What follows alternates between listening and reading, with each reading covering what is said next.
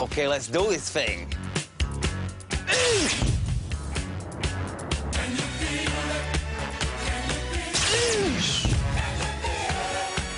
Bang tidy.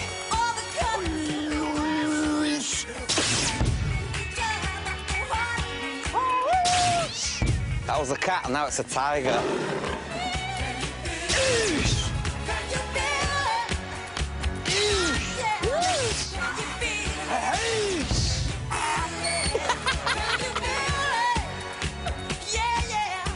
Watch me new show, Keith Lemon's Lemonaid. It's all about making dreams come true. Next Saturday, 6.15 on ITV1.